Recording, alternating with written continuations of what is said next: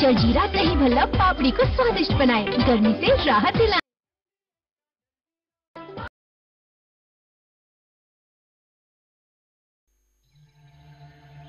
यूँ ही नहीं, मैं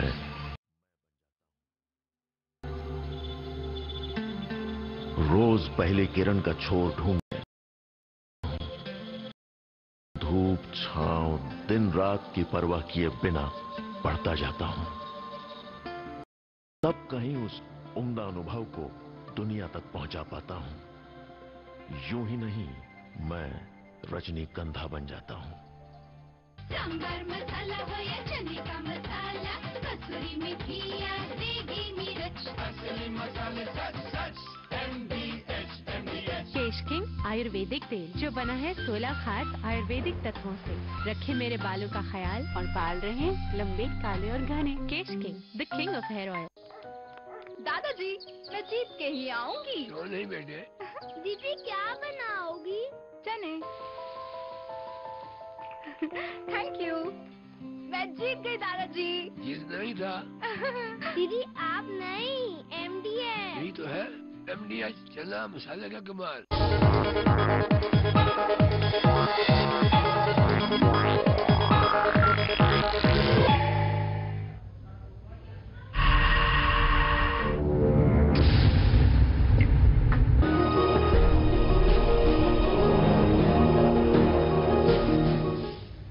नमस्कार, स्वागत है आप सभी का हमारे खास कार्यक्रम वंदे मातरम में और मैं हूँ आपके साथ Shreya Pathak.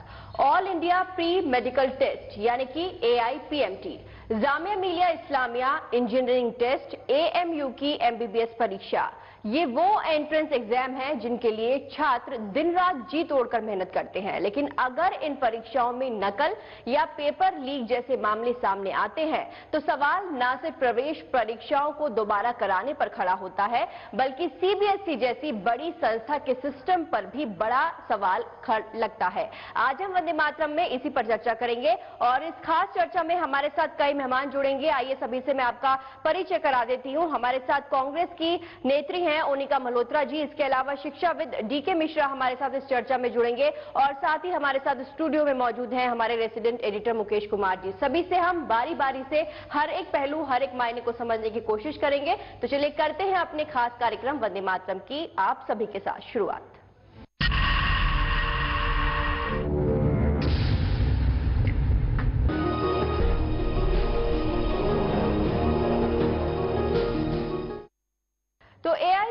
समेत चार एंट्रेंस एग्ज़ाम के पर्चे लीक होने के बाद सुप्रीम कोर्ट ने 17 अगस्त तक दोबारा परीक्षा कराने का आदेश दिया।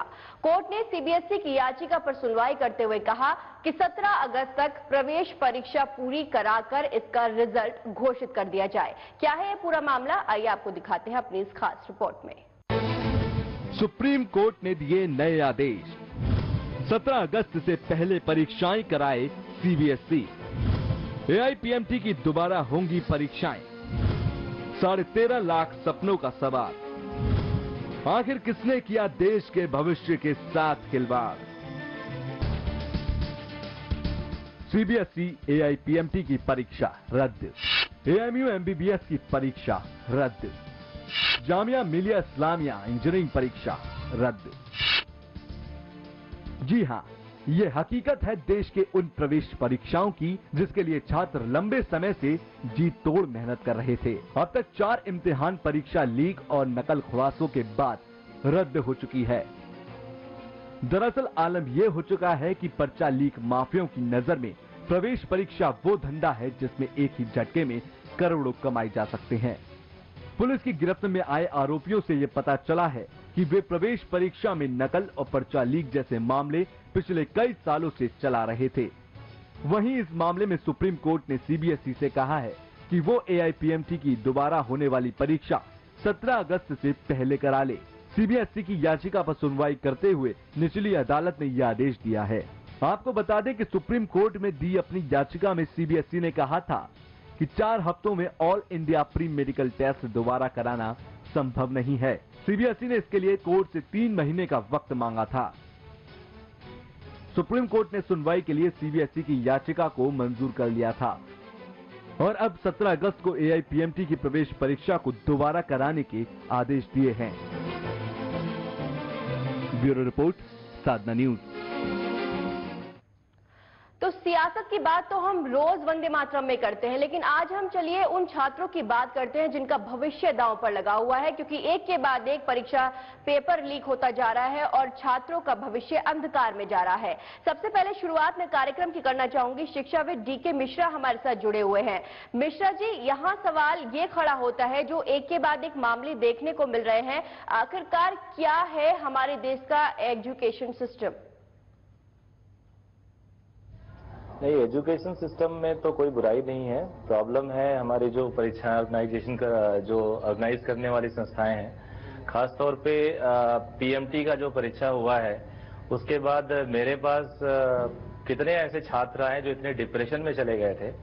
और मेडिकल की बात करें तो आपको पता होगा मेडिकल एंट्रेंस में बड़ा प्राइवेट कॉलेजेस और गवर्नमेंट कॉलेजेस की फ़ीस में ज़मीन आसमान का डिफरेंस होता है। जी। और बच्चों के पास कोई ऑप्शन नहीं होता। बायोलॉजी के जो बच्चे पीएमटी की तैयारी करते हैं वो बच्चे इतना सीरियस होते हैं कि बेचारे दिन रात करके एक एक नंबर के लिए फाइट करते हैं। और अगर उन्हें पता चलता है कि कहीं आ, कुछ गलत तरीके अपनाए गए हैं एग्ज़ाम में या कहीं कोई पकड़ा गया है तो उनके माइंड में यही डाउट आता है कि जहाँ पकड़ा गया वहाँ तो ठीक है हो सकता है कुछ ऐसी भी जगह हो जहाँ बिल्कुल भी कुछ ना पता चला हो और ये चीज़ें हो गई हो।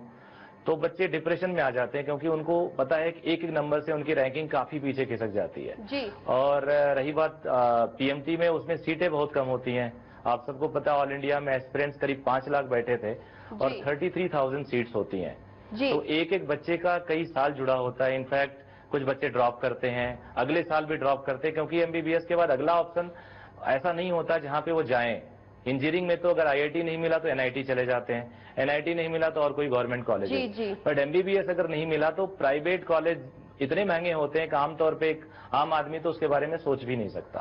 तो इसलिए मैं इसको तो बहुत सीरियस जी, आपकी चिंता वाजिब है। बोलूँगा इसको अगर ये मिश्रा है जी आपकी चिंता वाजिब है। हम भी इसी चिंता से ब- रूबरू हो रहे हैं और इसीलिए प्रोग्राम भी आज हम कर रहे हैं। हम आपसे ये जानना चाहते हैं, ये जो सिस्टम की खामियों की वजह से पेपर्स लीक हो रहे हैं, इनको सुधारने के लिए क्या हो सकता है और क्या स्टेट लेवल पे खामियाँ हैं? या जो सीबीएसई जैसी संस्थाएँ हैं, वो सीबीएसई जैसी संस्थाओं के कुछ लोग ऐसे हैं जो इस रैकेट करने वालों के साथ मिल करके जो क्वेश्चन पेपर है, वो लीक करा रहे हैं? क्या होना क्या चाहिए आखिर? क्योंकि ये कोई एक दिन, दो दिन की बात नहीं है। वर्षों से ऐसा चला आ रहा है। लोग गिरफ़्तार भी होते हैं, सजा भी होती है, कुछ छूट भी जाते हैं, लेकिन ये सिलसिला नहीं रुकता। एक के बाद एक चेहरे जो है, नए चेहरे सामने आते जाते हैं।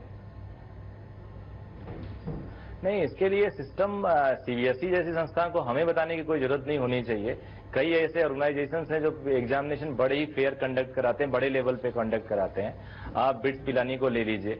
आईएम्स के एग्ज़ाम्स को ले लीजिए आईएएस के एग्ज़ाम को ले लीजिए।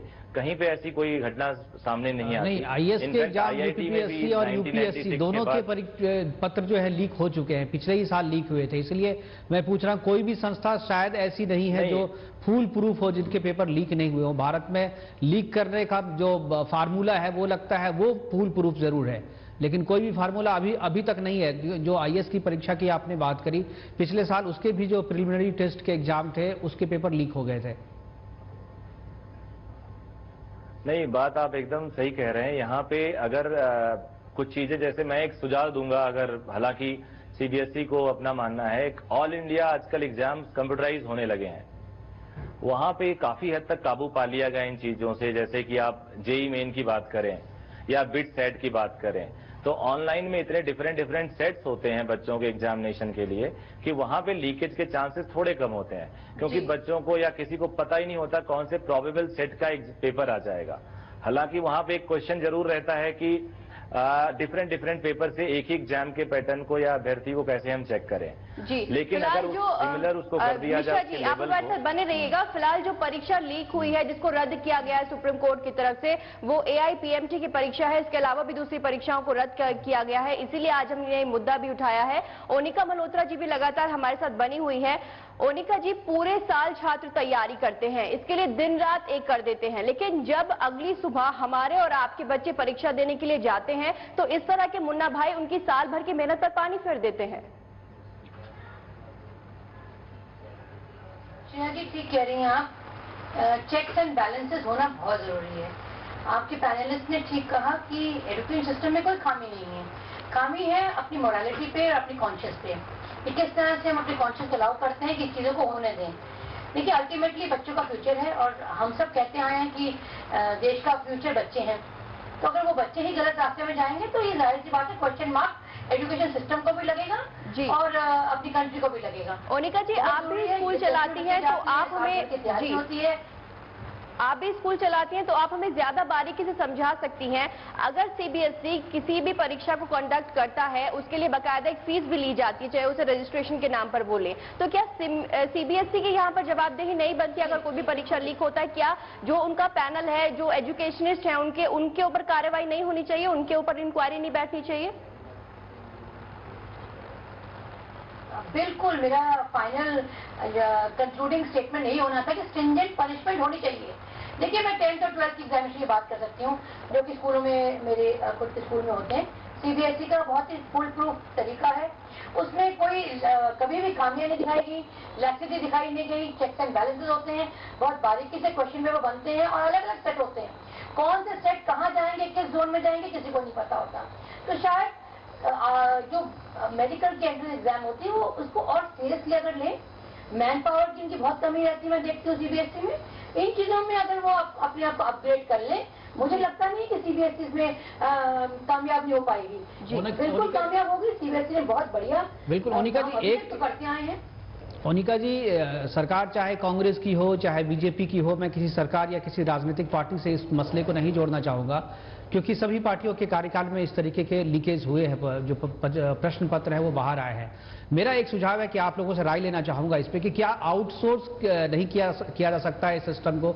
जो एग्जामिनेशन हम लोग लेते हैं, जो सीबीएसई लेती है, चाहे यूपीपीएससी लेती है, चाहे जो दूसरी जो संस्थाएँ हैं जो एग्ज़ाम लेती है, अगर हम इसे आउटसोर्स करने की बात करें तो क्या आउटसोर्स करके हम इस लीकेज को रोक सकते हैं? क्या कारगर हो सकता है ये? क्या इसके बारे में क्या कहना है आपका?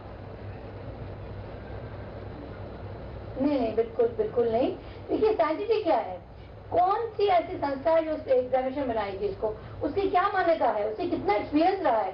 तो ये चीज़ें आउटसोर्स करना तो I don't think is very practical ज़्यादा मेहनत नहीं करनी है इसमें। सीबीएसई कराती आई है। सीबीएसई को स्ट्रिंजेंट होना है। फुल प्रूफ तरीके अपनाने हैं चेक्स एंड बैलेंसेस है।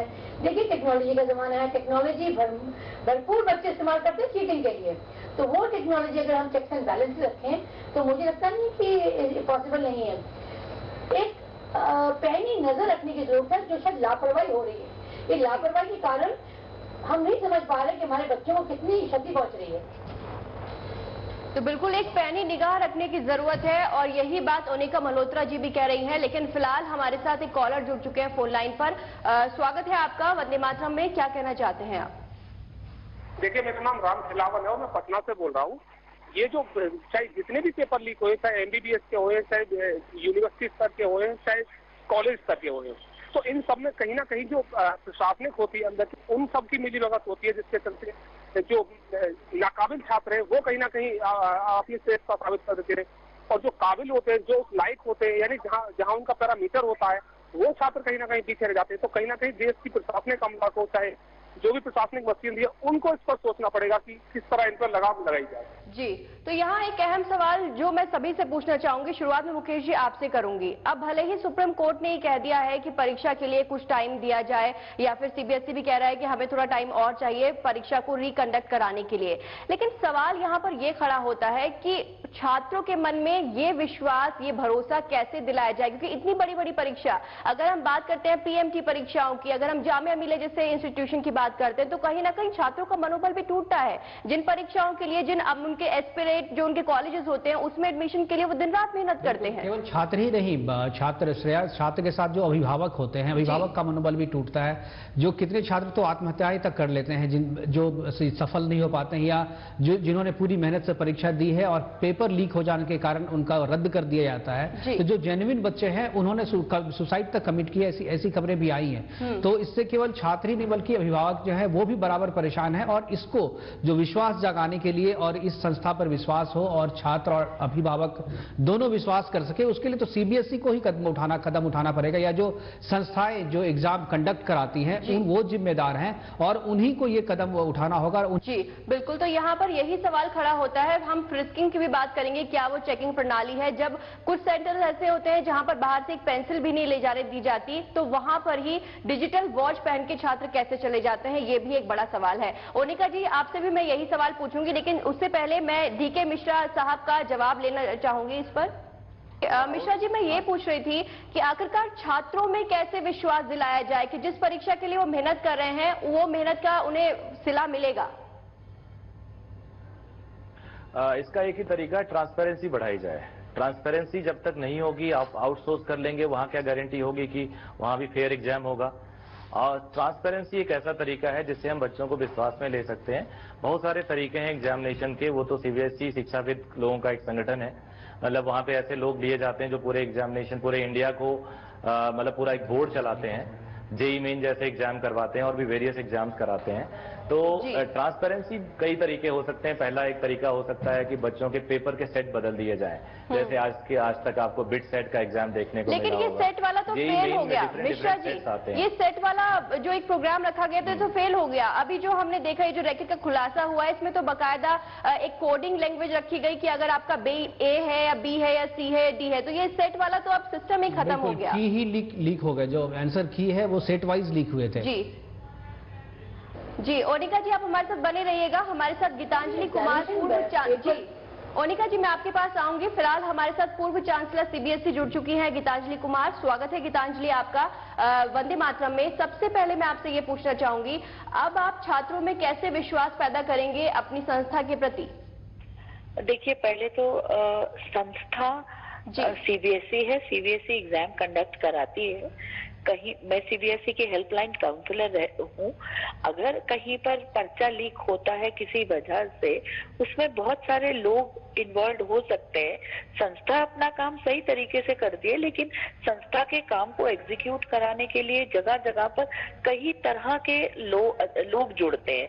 तो किस लेवल पे कहाँ पर गड़बड़ होती है है उस विश्व अविश्वास आया ज़रूर है लेकिन संस्था के प्रति नहीं। संस्था तो फिर अपना कार्य सही तरीके से करने के लिए तत्पर है तो और करेगी। गीतांजलि गीतांजलि जी क्या सीबीएसई के अफसरों पर एक ज़िम्मेदारी उनकी तय नहीं होनी जवाबदेही उनकी तय नहीं होनी चाहिए? इंक्वायरी उनके खिलाफ भी बैठनी नहीं चाहिए? देखिए ये फैसला करने वाली मैं कोई नहीं हूँ। मैं एक साइकोलॉजिस्ट हूँ। मेरा काम काउंसलिंग करना है। मैं सभी को यही, बच्चों को में भी और माता पिता को भी यही कहती हूँ कि सिस्टम है। सिस्टम ऑपरेशनल होता है बहुत सारे लोगों की कंट्रीब्यूशन से। सिस्टम में कहीं पे कोई गड़बड़ आती है तो उसका विश्लेषण करना बहुत ज़रूरी है और सिस्टम को सही करके आगे बढ़ना बहुत ज़रूरी है। अगर हम ज़िम्मेदारी सेट कर भी लेंगे ठीक है वो होनी भी चाहिए होगी भी लेकिन जो समय निकल गया है जो यातना झेल रहे हैं उसकी भरपाई तो उससे कभी भी नहीं होगी ना। जी। तो हमें तो आगे के लिए बच्चों का अविश्वास ना बढ़े बच्चे अपनी तैयारी ठीक तरीके से करें, उनको मानसिक संतुलन उन लोगों का बना रहे पॉजिटिविटी रहे उनमें, इन सब चीज़ों के बारे में मेरे ख्याल से सोचना और कार्य करना ज़्यादा ज़रूरी जी, शुक्रिया गीतांजलि जी हमारे साथ जुड़ने के लिए, और इसी के साथ हम चर्चा को भी आगे बढ़ाएँगे। ओनिका जी का मैं रुख करना चाहूँगी। ओनिका जी, इस बात की क्या गारंटी है कि अगर चार हफ्तों बाद या चार महीने बाद भी मान लीजिए एआईपीएमटी की परीक्षा होती है तो वो फुल प्रूफ होगी? बिल्कुल बिल्कुल ठीक कह रही हैं। ये है ये ही है पॉइंट जैसे गीतांजलि ने कहा कि संस्था तो अपना काम कर रही है, लेकिन उनके नीचे बहुत से पहलू होते हैं। जैसे किसी स्कूल को लिया, उन्होंने, या कॉलेज को लिया, जहाँ पर एग्ज़ाम कंडक्ट होगी। लेकिन देखिए, जिम्मेवारी सीबीएसई को उठानी ही पड़ेगी। आप चाहे फ्लाइंग स्क्वाड भेजें कुछ करें। अगर आपने जिम्मेवारी ली है कि आप इस पेपर कंडक्ट करेंगे तो ए से लेकर जेड तक आपको उसको कंप्लीट फॉर्मूला देना पड़ेगा। रिस्पॉन्सिबिलिटी आपको लेनी पड़ेगी इन चीज़ों के लिए। जी। ये कोई आंसर नहीं हुआ कि बहुत सी परत होती है जिस स्कूल में हो रहा है किस स्कूल में हो रहा है। ये चेक्स एंड बैलेंसेस जैसे कि मैंने कहा ये रखने पड़ेंगे या तो आप आप हाथ खड़े कर दें कि हम नहीं कर सकते। लेकिन जब आप ये काम कर रहे हैं अभी तक अच्छा करते आए हैं थोड़ी सी आपको और इम्प्रोवाइज करना है। अगर स्टाफ की कमी है आपको अपने चेयरमैन को अपने स्टाफ को बढ़ाना पड़ेगा। कोई भी मेजर आप, ही को उठाने पड़ेंगे ताकि लोग आपका विश्वास दोबारा से जीत पाए कि नहीं, एक ऐसी संस्था है जो एक ट्रांसपेरेंसी से अकाउंटेबिलिटी से काम करती आई है।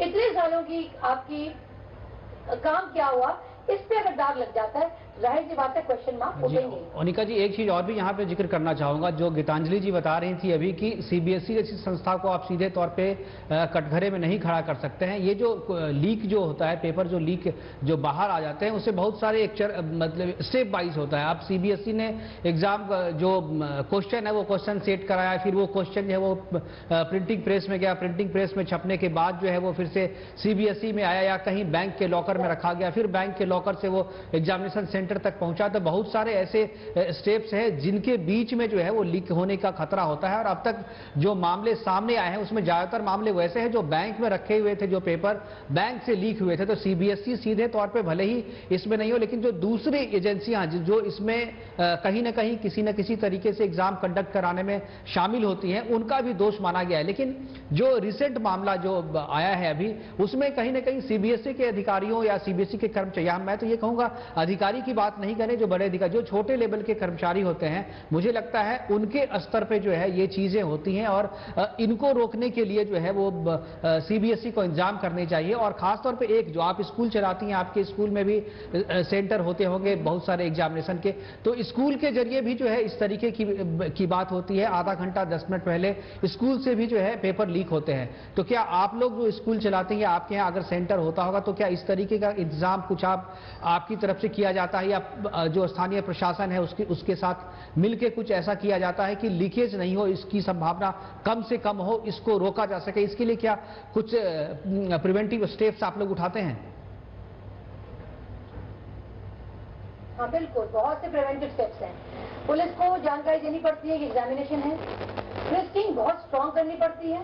ज़्यादातर फ्रिस्किंग में ही गड़बड़ होती है। जैसे किसी पैनलिस्ट ने कहा कि डिजिटल वॉच ले आते हैं, कुछ ले आते हैं। ये पैरामीटर्स और बाईलॉज में लिखा होना चाहिए कि अलाउड नहीं है। क्योंकि आर्गूमेंट बहुत होती हैं जब कैंडिडेट अंदर आते हैं। कैंडिडेट के साथ उनके पेरेंट्स भी होते हैं। वो प्रेशर बिल्ड करते हैं। लास्ट मिनट में एंट्री करने की कोशिश करते हैं जबकि गेट दस मिनट पहले बंद हो जाता है। तो ये डिफिकल्टी सेंटर्स को बहुत आती है। पुलिस भी बहुत कॉपरेट करती है। लेकिन जब क्वेश्चन पेपर खुलता है, उसमें बहुत बड़ी जिम्मेवारी स्कूल की प्रिंसिपल की सेंटर सुपरिटेंडेंट की और जो फ्लाइंग स्क्वाड होता है उसकी होती है। सिग्नेचर बकायदा होते हैं। तो इस तरह के प्रिवेंटिव स्टेप तो बहुत लेते हैं। अब आपकी मॉडल खुद की कॉन्शियस है कि आप उसको बच्चों का भविष्य को दरदरार करके उसको लीक करें या सिंसियरली काम करें। जी। तो ये मॉरल ड्यूटी पब्लिक की भी है पेरेंट्स की भी है और जहाँ संस्था ये काम करे, उसकी भी है। तो कुछ जिम्मेवारी हमें भी लेनी पड़ेगी कि जस्ट बिकॉज़ हमें नंबर चाहिए। डू एंड डाई का मामला है। हमें एडमिशन हर हालत में मेडिकल में लेना ही है। तो हम उसका शॉर्टकट अपनाएँ।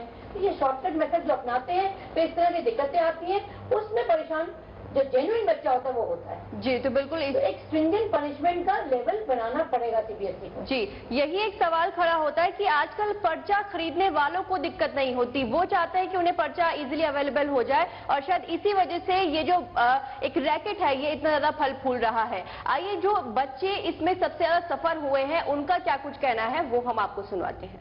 मतलब देखो पहले तो जिन्होंने हार्ड वर्क करा है उन्होंने टेस्ट दे रखा है। बाकी ये कैंसिल जो हुआ है, उनके लिए डिसएडवांटेज है, जिन्होंने स्टडी छोड़ रखी है। क्योंकि उन्हें पता उनका टेस्ट तो क्लियर हो जाना है तो फिर उनके लिए बहुत बड़ी डिसएडवांटेज है। हमें बहुत बुरा लग रहा है ये सुनकर। हम भी इससे बहुत डिस्करेज होते हैं। ते हम हम अगले, अब हम अपने अगले पीएमटी तैयारी करने के लिए आए हैं इतनी दूर से। तो हम भी अगले साल हमने अपियर को होना है। तो हम भी डरते हैं ये दोबारा से ना हो जाए। मेरे को लगता है बिल्कुल सही डिसीज़न लिया है। क्योंकि जो बच्चों की सिलेक्शन होनी होगी, वो तो महीने में रिवीजन कर लेंगे। और जिन्होंने नहीं होना होगा, जिन्होंने दो साल में भी कुछ नहीं किया, वो एक महीने में भी कुछ नहीं कर पाएँगे। मेरे को तो ये लगता है। और अगर ये कैंसिल ना होता तो जो की लीक हुई थी तो जो अनडिजर्विंग बच्चे थे, उनको सीट्स मिल जाती और जो डिजर्विंग बच्चे थे, उनको नहीं मिलनी थी। तो मुझे लगता है जो बच्चों जो बच्चों ने पढ़ाई की होगी पिछले दो सालों में, वो तो बहुत खुश होंगे। और जिन्होंने नहीं पढ़ाई की, वो भी खुश होंगे क्योंकि उनको एक महीना एक्स्ट्रा मिल गया, लेकिन उनका बनेगा कुछ भी नहीं एक महीने, क्योंकि उन्होंने दो साल में भी कुछ नहीं किया। इस डिसीज़न को एक तरह से इसका नेगेटिव पॉइंट भी है, एक तरह से पॉजिटिव भी है कि जितनी कम हिसाब से, कम सीटें हैं, उस हिसाब से जितनी चीटिंग हो रही थी, वो एक बड़ा, जैसे बहुत लार्ज स्केल पे हो रही थी तो उसका फ़ायदा दूसरे तरफ़ से कि जो उन्होंने अच्छी तैयारी की थी, या जिनका रैंक अच्छा आ जाना था इस बारी विदाउट चीटिंग उनके लिए एक नेगेटिव पॉइंट भी है कि हाँ अब उनको फिर से पेपर देना पड़ेगा और किसी चीज़ की शॉर्ट ही नहीं रहती। तो बस। सुप्रीम कोर्ट ने जो आज एआईपीएमटी की परीक्षा को निरस्त किया है, हम प्रतियोगी छात्र मेडिकल के छात्रों के बीच में काफ़ी खुशी है। कारण है कि जो तीन मई को परीक्षा आयोजित हुई थी, उसमें रोहतक, हरियाणा में ऐसे लड़के पकड़े गए थे जो इलेक्ट्रॉनिक चीज़ों का यूज़ कर रहे थे और उनको एंसर की पहले मिल गया था। और रोहतक में इस मामले में एफआईआर भी दर्ज थी। सुप्रीम कोर्ट में हम लोगों ने रिट दाखिल की थी। सुप्रीम कोर्ट ने आज खारिज करते हुए इसको चार हफ़्ते का समय दिया है कि आप दोबारा परीक्षा कराएँ। हम लोग इलाहाबाद में एक दिन सीबीएसई कार्यालय का घेराव किए थे। यहाँ पे हम लोगों को कहा गया था कि आप लोगों की बात हम दिल्ली तक पहुँचाएँगे और प्रयास करेंगे कि पेपर निरस्त हो। हम जो है सुप्रीम कोर्ट का बहुत बहुत आभारी और धन्यवाद देते हैं। कोर्ट के फैसले से हम छात्र बहुत खुश हैं और हम लोगों ने इलाहाबाद में बहुत प्रयास किया और जिसकी बात आप लोगों के द्वारा कोर्ट तक पहुँची और कोर्ट ने बहुत अच्छा निर्णय दिया है कि का पेपर हुआ था, वो जो है तीन तारीख को लीक हो गया था, लेकिन सीबीएसई बोर्ड ने मान नहीं रहा था। तो चार तारीख को हर मीडिया में हरियाणा रोहतक पुलिस ने पकड़ा भी था। तो पकड़ने के बावजूद भी लोग जो है कुछ कर नहीं रहे थे। तो काफ़ी जगह इलाहाबाद, बनारस, कानपुर, लखनऊ, दिल्ली, पटना, हर जगह से आवाज़ उठाई गई। तब भी नहीं किया गया। तो हम लोग इलेक्ट्रॉनिक मीडिया और प्रिंट मीडिया जो है सुप्रीम कोर्ट के दरवाजे गए। तो उन्होंने सुप्रीम कोर्ट का आज फैसला आया है तो हम लोग को काफ़ी खुशी है।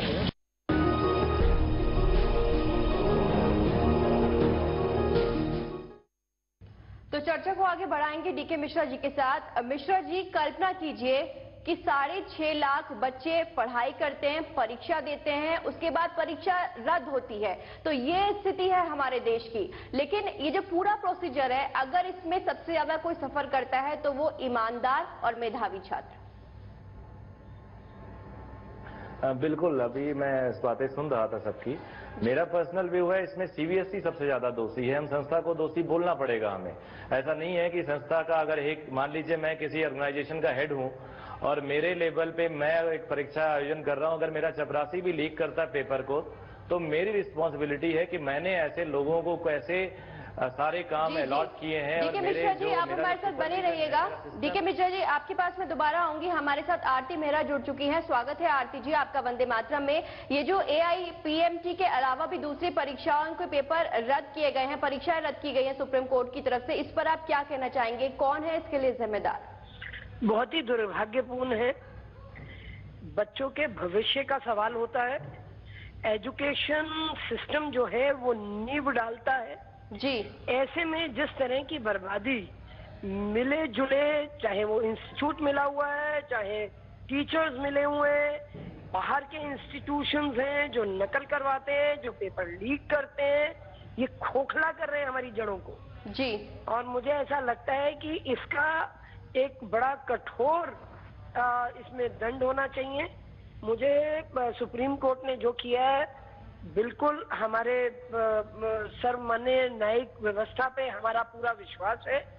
उन्होंने हर पहलू को देख के और बच्चों के साथ किसी भी बच्चे के साथ अन्याय न हो उसको देख के रद्द किया है कि जिससे पूरी तरह से आप ए- ए- ठीक तरीके से परीक्षा दोबारा से हो सके। जी आज ये सच में दुर्भाग्यपूर्ण और बहुत निंदनीय है। आरती जी क्या आपको लगता है जो मौजूदा कानून है अभी इस तरीके के मामले को रोकने के लिए अधिक से अधिक जो लोग पकड़ में आते हैं जो पुलिस जिन्हें गिरफ़्तार करती है सात से दस साल की मैक्सिमम सजा है लेकिन वो सजा भी एविडेंस के अभाव में नहीं हो पाती है? क्या आप- नेक्सस देखिए इसमें इसमें जो ये काम कर रहा है गलत उसके लिए विन विन सिचुएशन है।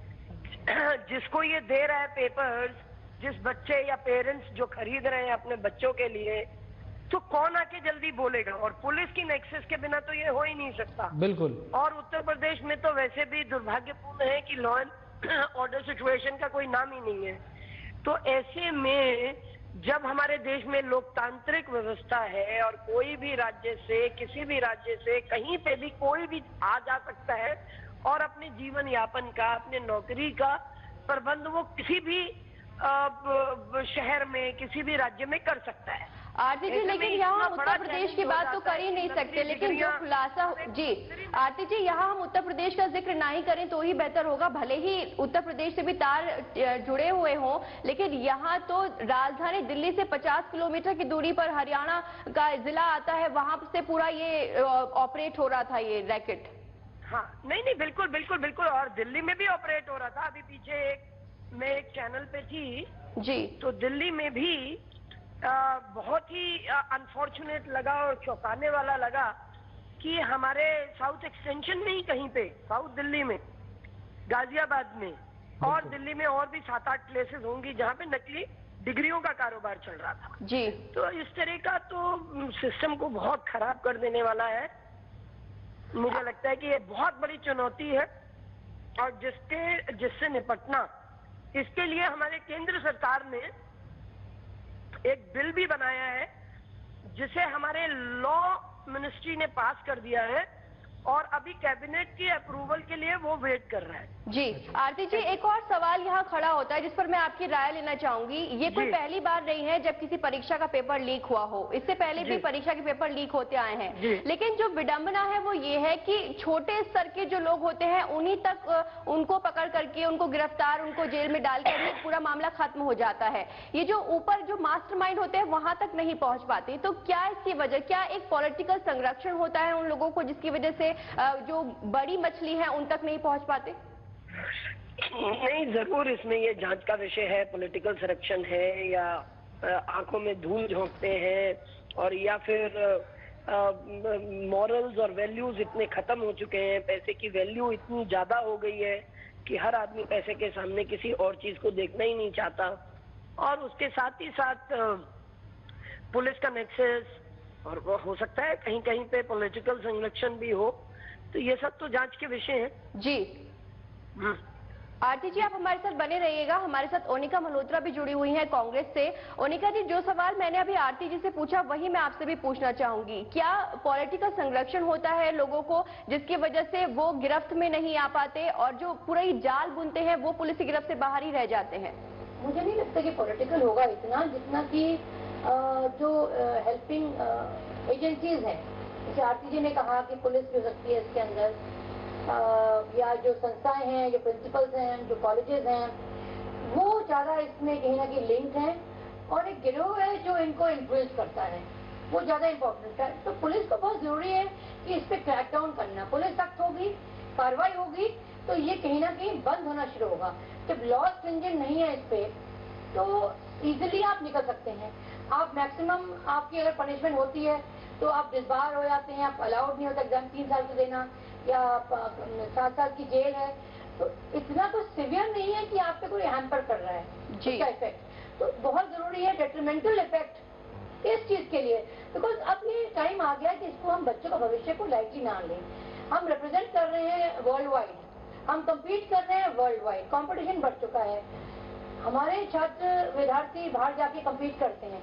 तो इस तरह की अगर हम क्वालिफिकेशन से बाहर निकलेंगे तो कहीं ना कहीं हमारे लेकिन ओनिका जी और आरती जी मैं आप दोनों को बता चा- बताना चाहूँगा जो श्रेया ने जो सवाल किया कि पॉलिटिकल संरक्षण मिलता है कि नहीं मैं एक उदाहरण देना चाहूँगा रंजीत डॉन जो कि पाँच साल पहले छह साल पहले आपको याद होगा बिहार में मेडिकल एग्ज़ाम जिस तरीके से लीक किया जाता था सीबीएसई के, के पेपर को और उसके ज़रिए से बहुत सारे डॉक्टर अब वो हालाँकि रंजीत डॉन अभी जेल में है और उसके नेक्सस से जितने लोग डॉक्टर बने उसकी भी जाँच चल रही है और ऐसा अनुमान है कि करीब अभी वर्तमान में कम से कम सौ से ज़्यादा डॉक्टर ऐसे हैं जो उस रैकेट के थ्रू डॉक्टर बन के इलाज कर रहे हैं, हमारे आपके बीच में, समाज में हैं। और वो जो जाँच चली थी डॉक्टर रंजीत के रंजीत डॉन के खिलाफ, उसमें बहुत सारे स्थानीय विधायक का भी नाम आया था और सांसद का भी नाम आया था। मैं आपको बता दूँ, जो नीतीश कुमार की कंस्टिट्यूंसी नालंदा के रहने वाले थे रंजीत डॉन, और वहाँ के विधायक का भी नाम आया था इस रैकेट में। और पूरा जो ये खेल चल रहा था, ये संरक्षण जो था पूरा पॉलिटिकल संरक्षण के नीचे पॉलिटिकल लोगों के नाक के नीचे ही ये पूरा रैकेट चल रहा था जिसका भांडाफोड़ 10 साल के बाद हुआ जो करीब पिछले 10 सालों से अभी भी वो जाँच चल रही है। हालाँकि जाँच कहाँ तक पहुँची अपडेट अभी मुझे नहीं पता है लेकिन ये जाँच जो है लगातार चल रही है। डॉन पकड़ा गया था उन्होंने खुद इस बात को माना था रंजीत डॉल ने कि पिछले 10 साल से हम ये काम कर रहे थे। तो 10 साल के दौरान उन्होंने किन किन लोगों को पैसे लेकर के डॉक्टर बना दिए और वो कौन कौन डॉक्टर हैं जो अभी हमारे आपके बीच में हैं और इलाज हमारा हमारा और आपका इलाज भी कर रहे हैं, किसी न किसी जगह पे वो पोस्टेड भी हैं। ये तो बहुत शेमफुल है, यही तो मैं कहना चाह रही हूँ आपको। लेकिन स्टेट वाइज ये बहुत मैटर करता है कि आपकी प्रशासन कितना स्ट्रांगली उसको एडमिनिस्टर कर रहा है। आपने देखा होगा, पीछे अभी टीवी में भी दिखा रहे थे कि परीक्षाएँ चल रही थी और पेरेंट्स किस तरह से पर्चियाँ, खिड़कियों में चढ़ चढ़ के, दीवारों से चढ़ चढ़ के दे रहे थे। स्कूल की बाउंड्री नहीं है, स्कूल में प्रोविज़न नहीं है, वहाँ एग्जामिनेशन हो रहा है। तो ये तो बहुत इंपॉर्टेंट है कि एजुकेशन मिनिस्टर पर्टिकुलर स्टेट का इस चीज़ को देखे। सेंटर्स की निगरानी होनी बहुत ज़रूरी है ये जो रैकेट चलाने वाले होते हैं ये लंबे समय तक तभी चल पाते हैं जब इन्हें राजनीतिक संरक्षण होता है। जी फ़िलहाल मैं सभी से लास्ट कमेंट लेना चाहूँगी। मुकेश जी मैं आपसे शुरुआत करूँगी। अगर मैं ये कहें कि जैसे हम बातचीत कर रहे हैं कि आखिरकार कैसे हम पीएमटी परीक्षाओं में फर्जीवाड़े को रोक सकते हैं तो क्या इसका एक सुझाव कोर्ट ऑब्जर्वर लगाकर नहीं हो सकता? अगर हम हर एक सेंटर पर कोर्ट ऑब्जर्वर लगा दें या जो संवेदनशील सेंटर्स हैं वहाँ पर ऐसी व्यवस्था कर दें तो क्या इसको रोका जा सकता है? नहीं, कुछ हद तक रोका जा सकता है, लेकिन जहाँ पर आप, जैसे अभी जो लीक हुआ है ये, इसमें की लीक हो गया है हर एक सेट का की लीक हो गया और लीक जो है पहले से लोगों को पता है जो उसमें अपियर हो रहे हैं। तो वो याद करके अगर चले जा रहे हैं की को तो आप उसको किसी भी स्तर पर रोक नहीं सकते हैं। हम्म। क्योंकि उन्हें आंसर पहले से पता है वो जा करके देखेंगे। चूँकि तैयारी कर ही रहे होते हैं तो देखने के बाद उन्हें एक अंदाज़ा लग जाता है कि कौन सा आंसर है। वो दे एग्ज़ाम दे करके चले आते हैं मैं यहाँ पर आपको रोकना चाहूँगी। आपको भी जानकर हैरानी होगी कि जो हरियाणा से पूरा ये रैकेट ऑपरेट हो रहा था वहाँ पर सिर्फ़ 15 मिनट ऐसे होते थे जो एक्सपर्ट होते थे वो 15 मिनट में सॉल्व कर देते थे। और वहाँ एक कोडिंग लैंग्वेज होती थी उनसे पूछते थे कि आपके पास कौन सा सेट है? फिर वो बताते थे 20 मिनट में पूरा question paper solve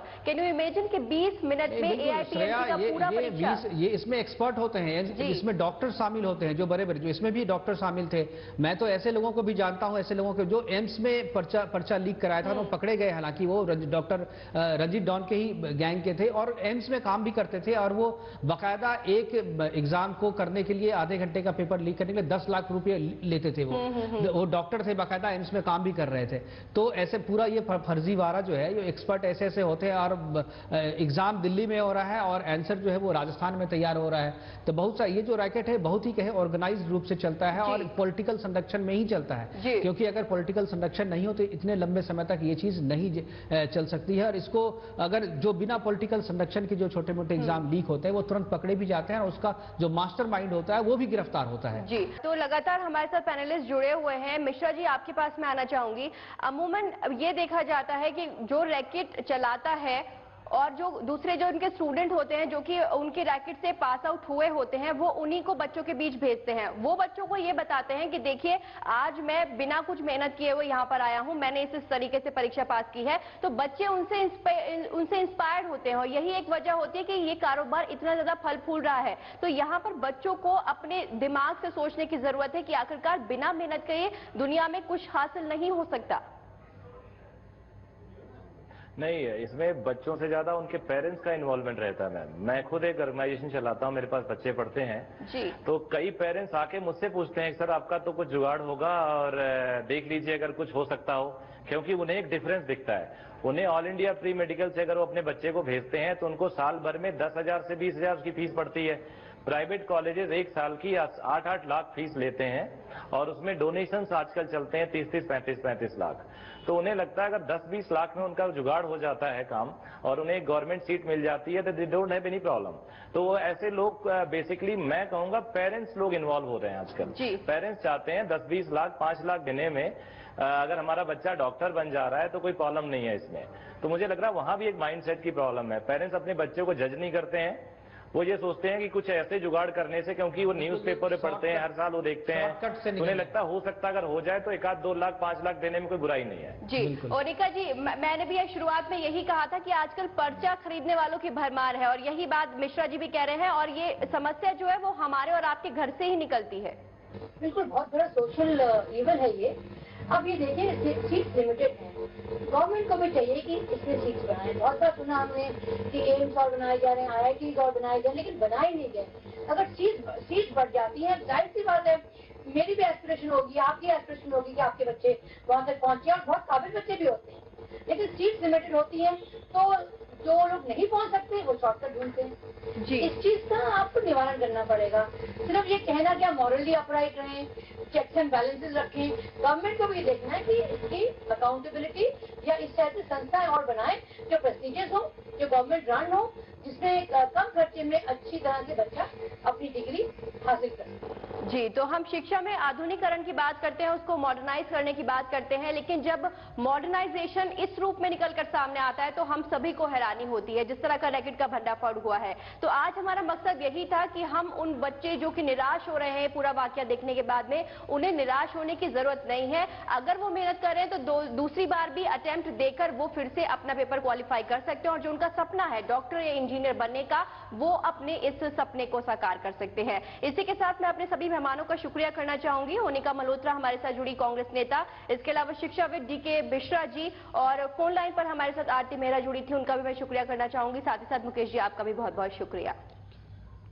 तो इसी के साथ हमारे खास कार्यक्रम वंदे मातरम में फ़िलहाल के लिए बस इतना ही। छोड़े जाते हैं आपको पब्लिक पंच के साथ। नमस्कार।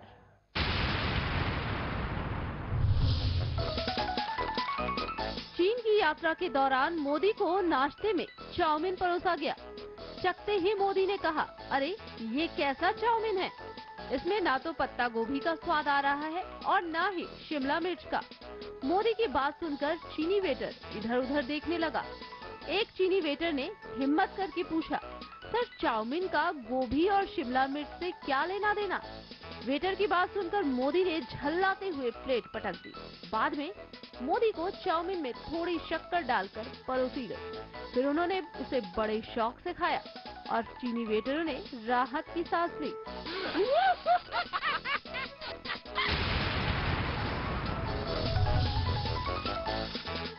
पीएम मोदी और आडवाणी जी के बीच काफ़ी समय से कोल्ड वॉर छिड़ा हुआ था। एक दिन मोदी ने इस वॉर को खत्म करने का सोचा। उन्होंने आडवाणी को पत्र लिखा। विपश्यना से शांति आती है।